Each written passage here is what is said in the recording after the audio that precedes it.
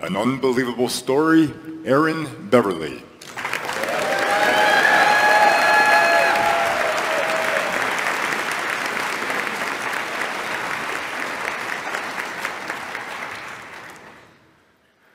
The contest chair was relieved. My title is only three words long. but friends, why is this story unbelievable? June 2018, I fly to India to attend the wedding of my friend Brandon and his fiancée, Devika. Brandon and family are white, Devika and family are Indian. And I am the only black man there. I can't help but feel different. But I try my best to blend in. I buy formal Indian wedding attire. What do you think? I even participate in a sacred Indian wedding ritual, protecting the groom's shoes. During the car ride to the wedding, my friend Sunit explains this ritual. When Brandon takes off his shoes during the ceremony, Devika's bridesmaids will try to steal them. The groomsmen protect the shoes from the bridesmaids. If they win, they hold the shoes ransom, forcing Brandon to buy them back. It's a game, Sunit says. I think it sounds like a spy movie. Sunit says, Aaron, the bridesmaids will try sweet talk, they will try deception, but don't give the shoes to anybody. Will you accept this mission? Quick fact about me. When I am given a mission, I take it very seriously. I look at Sunit and I say, I accept the mission. At the wedding ceremony, Brandon takes off his shoes. I swoop in, grab the shoes, sit down in the front row. Smooth, stealthy. I feel like a black James Bond. the leader of the bridesmaids walks over. She smiles at me. But gentlemen, have you ever seen a girlfriend or wife smile, yet at the same time, you just felt scared? I call her the ominous smiler. She says, Aaron, you look very handsome today. I say, thank you. Could you pass me Brandon's shoes? No. Sunit said the bridesmaids will try sweet talk. Don't give the shoes to anybody. But Aaron, she says, that's against Indian tradition. When I hear that, the global ambassador within me gets nervous. I don't want to cause an international incident over a pair of shoes. I can see the headlines. Idiot ruins wedding and India-US relations. I almost hand over the shoes, but remember Sunit. They will try deception. Don't give the shoes to anybody. I say no again. Then the ominous smiler, she moves closer. She says, and I quote, we can do this the easy way, or we can do this the hard way. But you will give us the shoes. I am now scared for my life at this wedding. However, I must protect the shoes because when I have a mission, I take it very seriously.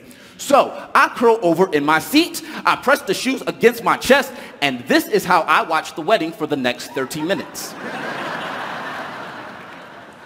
The ominous smiler tries to steal the shoes, but I hold firm. Then she disappears for 20 minutes before taking a seat to my right.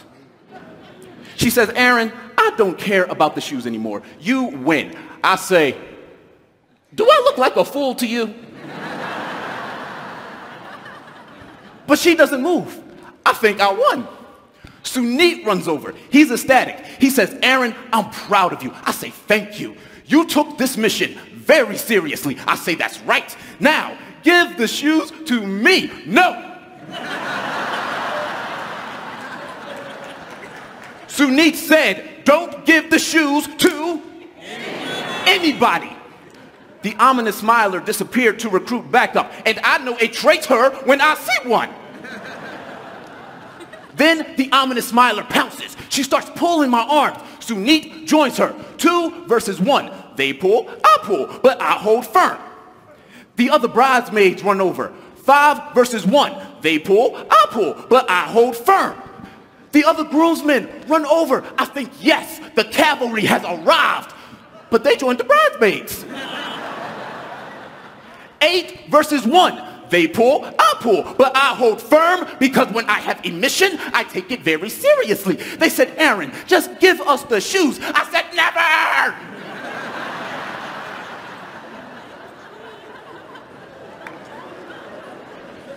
Keep in mind, the wedding is still going on. Devika's family is watching the ceremony as if nothing else is happening. I start wondering, is this normal? then the ominous smiler signals the wedding photographer. And this dude is huge. He puts down his camera. Then he starts charging. He jumps on top of me. Nine versus one. They pull, I pull, but I, I lost the shoes. Brandon paid 10 times what those shoes were worth. But what makes this story unbelievable is not the shoes, nor the events. It is the context behind that game. That game is designed for the families of the bride and groom to get to know each other, which means that among white and Indian families, a different, lonely black man was accepted like family too. We experience so much divisiveness nowadays that acceptance despite difference seems unbelievable. But there are people who still believe in it. Do you? Open your culture, your mind, your heart to people who are different from you. Show the world that acceptance, despite difference, is not an unbelievable story. This is your mission. Take it very seriously. Contest chair.